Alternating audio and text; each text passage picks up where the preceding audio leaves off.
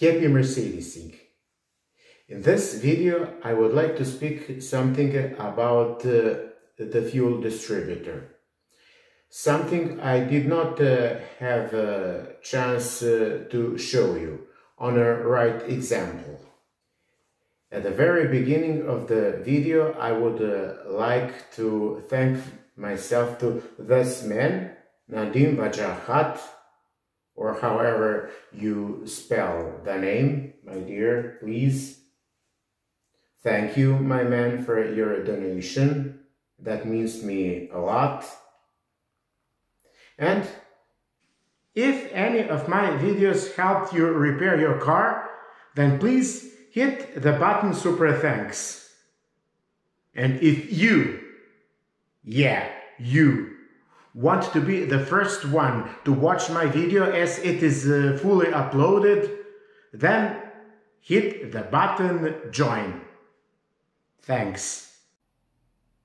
So, if you want to help the channel, you can either donate on PayPal, I'll leave you the link in the description of the video, or you can click super thanks. Well, Let's take the fuel distributor uh, as example.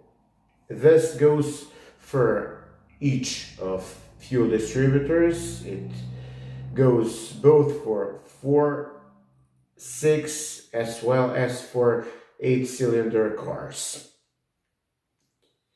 So, one thing I didn't mention in all my videos in that series on fuel distributor. So if you want to watch that playlist, you will have a link here. There. In that uh, series of videos, I'm speaking about the fuel distributor and all there you can watch. But now I want to tell you what to do after you, for example, rebuild your fuel distributor and which are the first steps you will have to do. Once you uh, you do your fuel distributor, after you reassemble it. Your first steps would be to connect the fuel distributor to all its lines except of these four, six, or eight.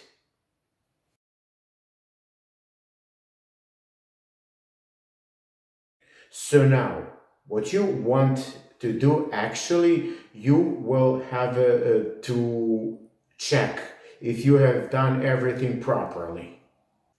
And if you have then it's okay.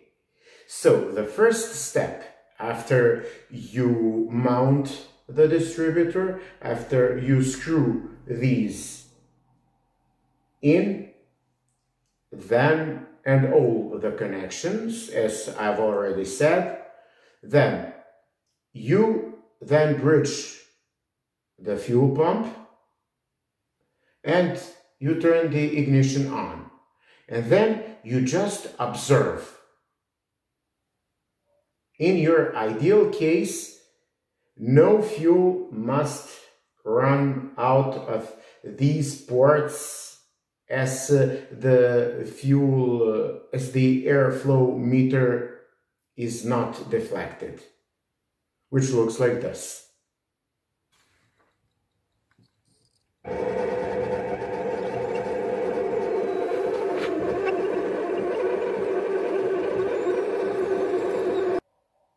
So the fuel must start flowing out of the ports once you deflect the airflow meter unit.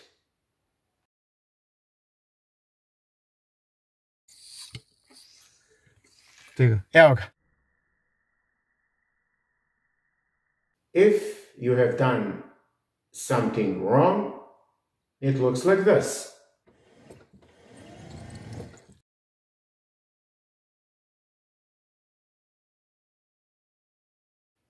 If something like this happens to you, then this means that you could have uh, mounted, for example,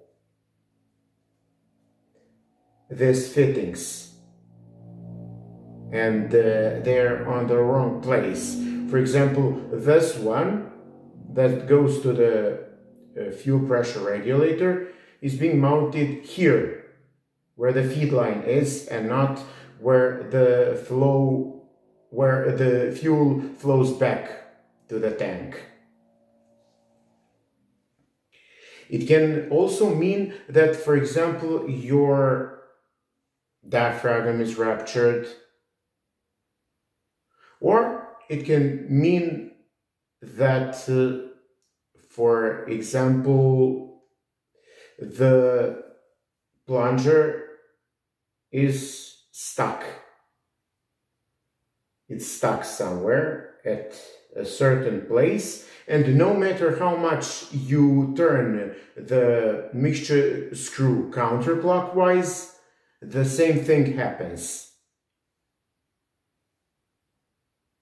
Well, that's now something else you will have to take in consideration. Or maybe you haven't tightened the screws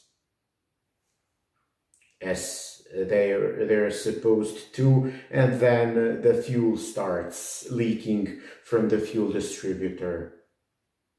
So, once you do everything as it is supposed to be, then it would be a good idea to find four, six, or eight bottles that should be equal and for twice you will have to do the flow test in one minute.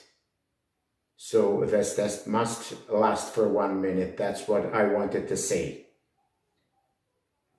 For the first time, with uh, the airflow meter fully deflected, that way you're simulating uh, full throttle. And if the difference between the, the cylinders is about 10%, then it's okay. So nothing uh, big is going to, to happen. No big deal. But afterwards, as you simulate the, the idle, as you barely deflect, the airflow meter and you simulate idle, of course, for one minute. And then, if you get the differences between the cylinders to be more than 5%, that's too much. Then that means that you haven't uh, cleaned everything inside the barrel, all the filters, everything, everything. And you will have to disassemble again the fuel distributor and to clean it up again. So remember, 5% on idle. That's the upper limit. The less discrepancy, the better. So, in order to check your fuel distributor after the cleaning, this is the first step you have to do. You will have to start the fuel pump and to do this. So here, none of the fuel must flow out uh, of uh, the flows. Mm -hmm.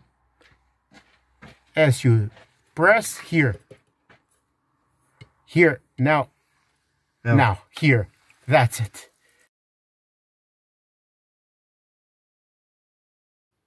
So, if you liked this video, please consider subscribing to our YouTube channel and click the bell to be notified when we post new videos. Then I would kindly ask you not to hit the button uh, skip ad. That is going to help me a lot. And till some next one, happy Mercedesing. Bye.